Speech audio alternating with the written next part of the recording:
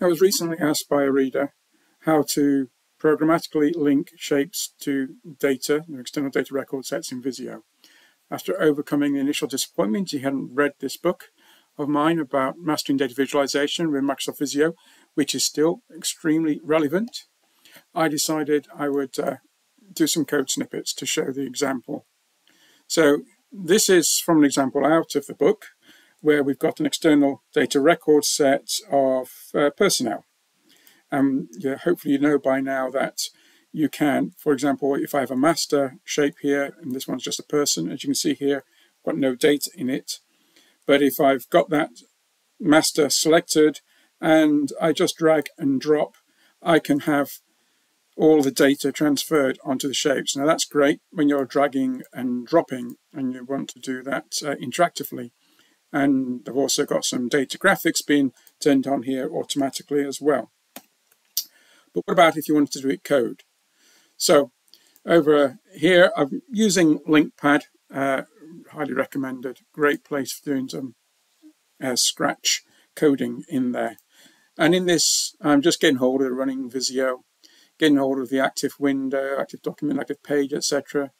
Switching on uh, diagram services and getting hold of the um, the active external data record set. There are other ways you can select it by the ID, but I thought easy for this example, just go with active. So if it's visible, getting hold of that selected data record set, as you can see here, and hopefully it's not null. Um, so we're moving to it. So then the important thing is criteria.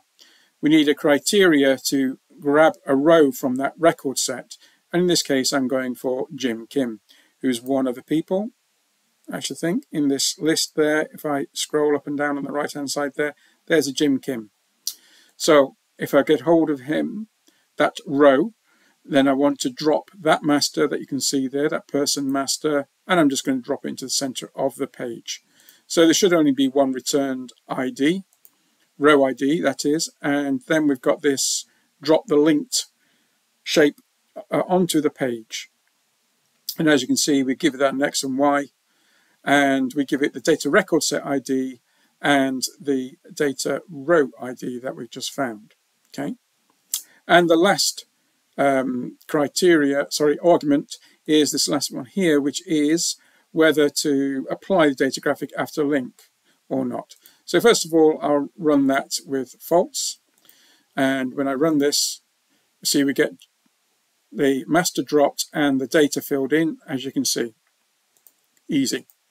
If I want to have it with the data graphics on, I just change this argument to true and do the same thing again. And there we go. And we've got the data graphics on and we've got that down. So nice and simple. So let's just remove that. But what if you want to do many? So I'm going to drop, in this case, all those which are in the marketing within this record set. So here we can see we've got quite a few people who are in marketing.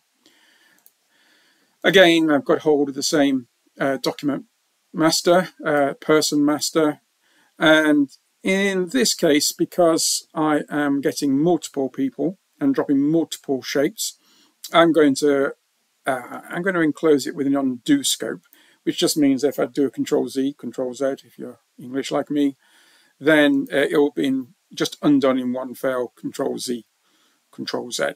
Right, so just go through that and just so that I get some displacement, I've done a, a delta Y displacement here, just based on the number of shapes um, or record rows I'm returning. So if I was just to do this, uh, and I'll put this as true again here because it looks pretty when I do that, and run that, and we get, as you can see, uh, all of these personnel drop down. I've just displaced them out and just showing that you can apply data graphics